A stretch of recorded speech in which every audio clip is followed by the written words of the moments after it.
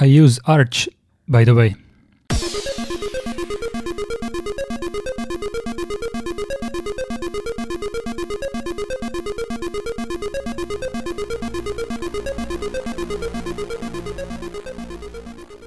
Hello there. I installed Arch. On my laptop though, on my second computer, not on the primary one. I have a lot of experience with Debian. With Debian operating system all the way, I think since 1997, uh, since version 1.3 was out. And I can't complain really about my Debian knowledge. I'm not the all-knowing one. There's always more to learn, but I'm quite content with what I know so far and what I learned. And of course, I want to learn more. But there are a couple of things that I have um, complaints about Debian, and that's about something that's kind of in contrast to what Debian actually is to me.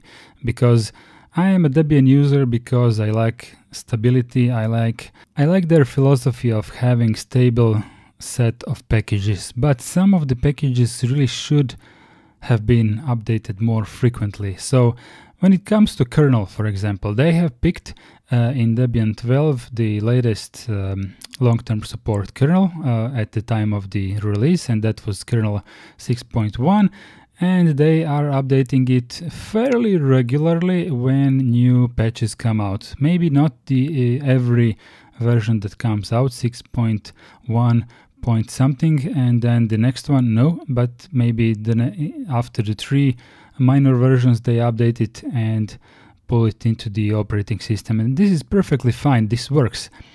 And right now i am a kde user. I'm using plasma.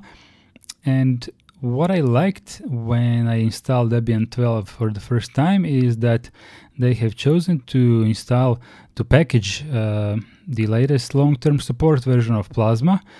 And uh, this was uh, in my mind supposed to be functioning the way they are handling the kernel right? But no they are stuck with one single version of plasma and they're not actually using the long-term support capabilities of what plasma team is offering.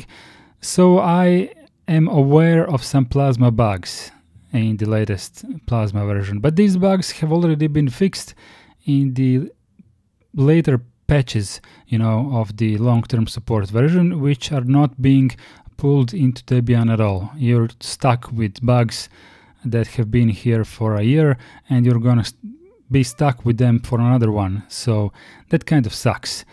And some of these things have made me rethink about what I really want about my operating system. And I'm not saying that Debian is not good and not good for me at all. I'm just saying that I'm doing my research and seeing what fits maybe more, maybe less. So another thing that bothers me with Debian is gaming.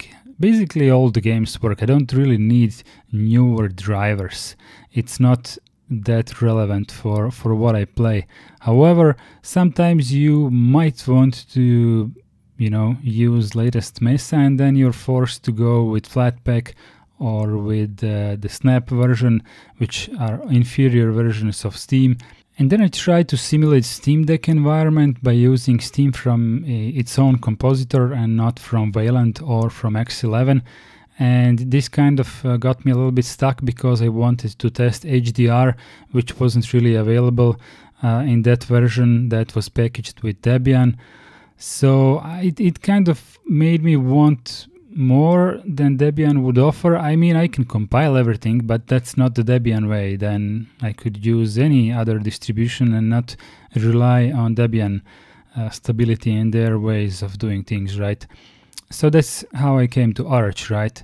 And let me tell you, it was really smooth sailing to install it. I was afraid I was really afraid that it's a really complicated distribution, like everyone is saying on the internet, right? Like the most difficult distribution. I'm not talking about Linux from scratch, but uh, you know, Arch is really feared from distribution. You need to install it from the text console, you need to type commands.